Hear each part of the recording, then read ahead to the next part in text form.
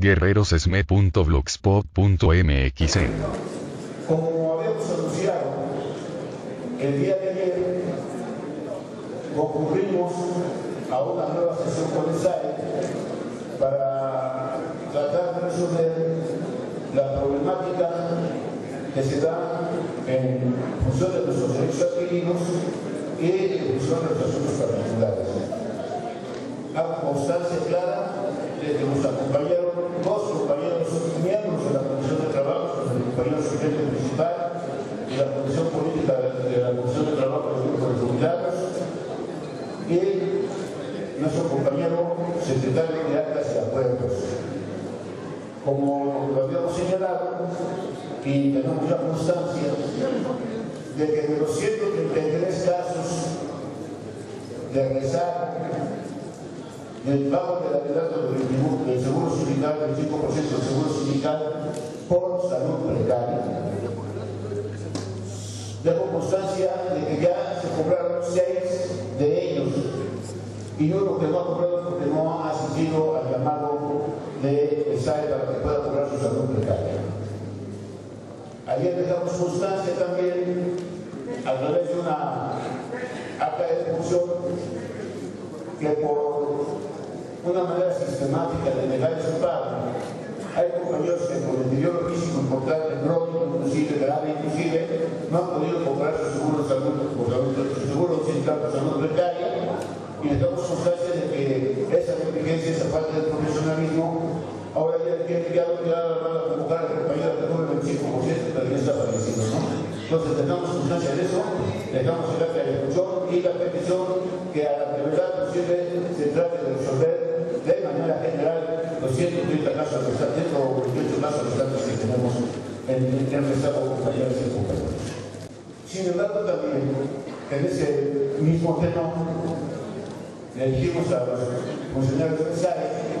que se están equivocando porque ellos para poder pagar la salud precaria necesitan un dictamen por parte del Seguro Social y les hicimos hincapié perfectamente leyendo la cláusula 112 que los dictámenes que ejerce el Seguro Social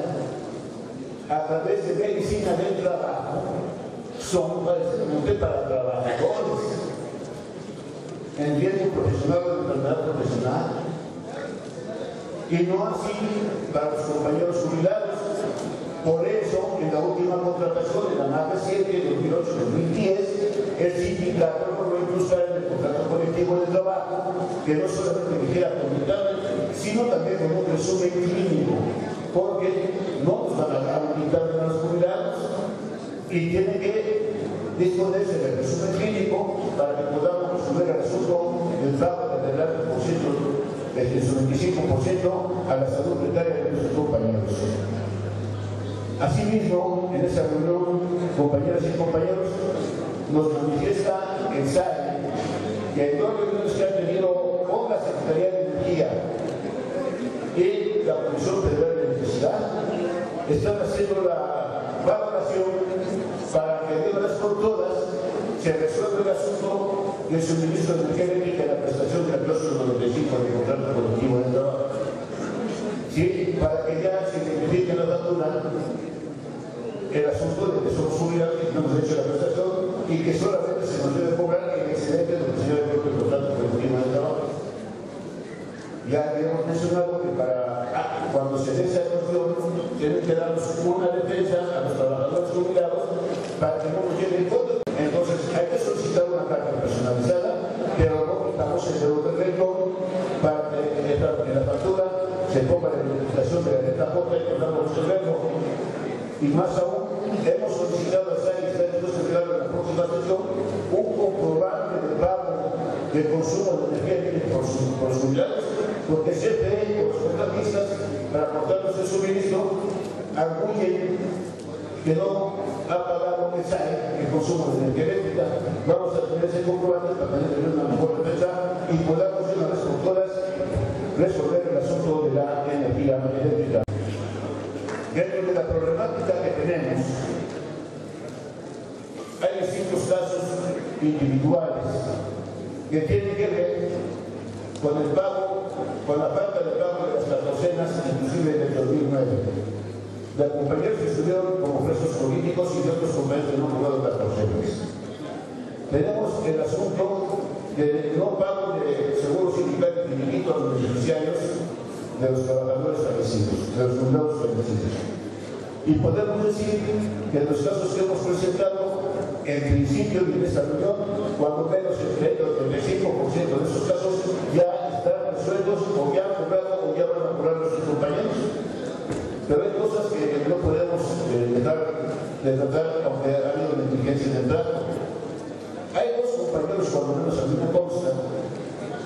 por los documentos que me llegaron, que se jubilaron, están cobrando sus catorcenas, pero no han cobrado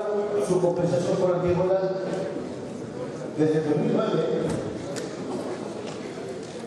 Cobraron un adelanto, uno de ellos un adelanto de 300 mil pesos y otro de 200 mil pesos. Y entonces nos señala el SAE que ya no se puede pagar porque entonces fíjense la prescripción. Aquí fuimos contundentes. Les mostramos los documentos y no puede responsabilizar a los trabajadores jubilados Carmelo Santos y el niño Sánchez de que pueda entrar en vigor la prescripción porque es responsabilidad del SAE en tanto que los dos trabajadores con la debida oportunidad presentaron el requerimiento ante el SAE para que fuera pagada su prestación por actividad. Y yo creo que vamos a lograr que esos compañeros se les su compensación por actividad en el sentido de la negligencia que ha actuado el SAE, compañeras y compañeros. Y otro caso que es muy importante para nosotros porque así lo han reclamado la mayoría una muy buena cantidad de jubilados, es que en las hojas de percepciones y deducciones ya no se contempla ¿no? el monto o el saldo de los descuentos o percepciones o conquistas que tenemos, pero particularmente en lo que se refiere al programa habitacional y al, y al monto del fondo del ahorro. Ellos este, dicen que en, en, breve lo van a resolver y yo no sé, no digas que en breve, dime cuándo. ¿no? Dice, no se preocupen, con el señor no se preocupen, si tenemos cantidades sobre pero las tenemos en otro sistema. Entonces, pues fuimos también ahí contundentes con la participación de nuestro compañero Arregar y con la participación de la Comisión de Trabajo. Fuimos contundentes y entonces le pedimos el primer párrafo de la cláusula 42, en la que patrón dice, en todo caso, se obligaba a entregar los recibos de pago con todas las excepciones y deducciones y montos de los descuentos que se nos hacen. Y digo, no me diga usted que no nos preocupemos, claro que me tengo que preocupar por todos mis compañeros. ¿Cómo le reclamo a usted que lo está disfrutando mal? ¿O cómo le reclamo que el mundo no sobre lo que lo está disfrutando? No, yo le pido por favor, de manera enérgica, pero y que se resuelva la brevedad posible. Si usted tiene un problema con su sistema de cómputo, pues hace una rama, pague una rama y traiga a un especialista para que una vez se resuelva este asunto de, de los montos de saldos, particularmente del programa habitacional y el, de, el fondo de ahorro, compañeros y compañeros. No, y dejamos claro, no se debe promover de ninguna manera el formato abierto de carta destinataria. Quitaron en su espacio, estamos de acuerdo, pero que los espacios internos y externos que actúan para la supervivencia no provoquen y no incidan para que el trabajador tenga un formato abierto de carta destinataria. Y hay un importante rezago en ello, y entonces hoy, en lugar de un solo día a la semana para apertura de cartas, con la presión del sindicato y el apoyo de la dirigencia sindical,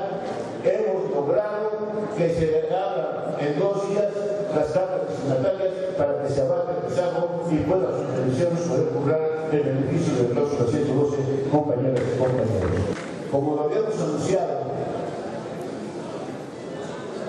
en virtud del proyecto de presupuestos de ingresos de la Federación,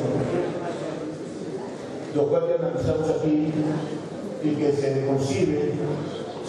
para nosotros las obras de población del año que entra, en el ramo 19 del proyecto de presupuesto de ingresos de la Federación, analizamos las cantidades, dijimos las cantidades y anunciamos que conforme las indicaciones de nuestro secretario general, íbamos a tener un documento que íbamos a entregar al presidente de la mesa directiva, Silvano López Conejo, al presidente de la Cámara de Diputados,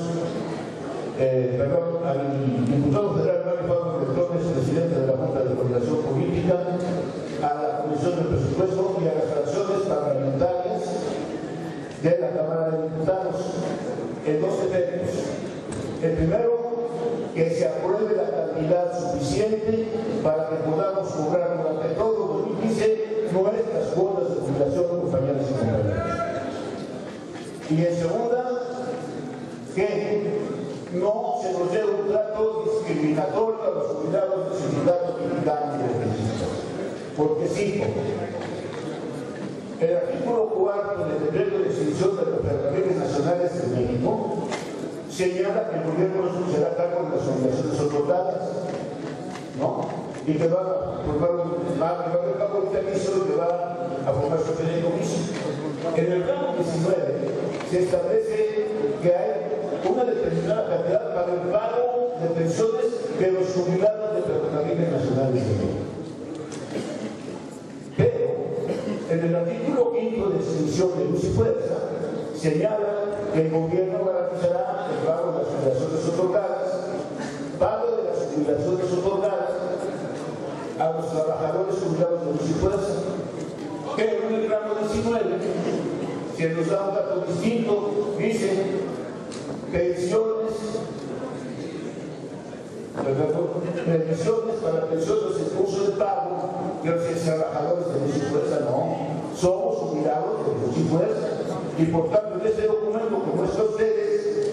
para que se fotografíen que y suban a las redes, ¿no? Estamos firmando el documento desde luego con su secretario general, el secretario de Trabajo y el servidor, pidiendo una audiencia a estos elementos para poder argumentar por qué queremos que se apruebe la cantidad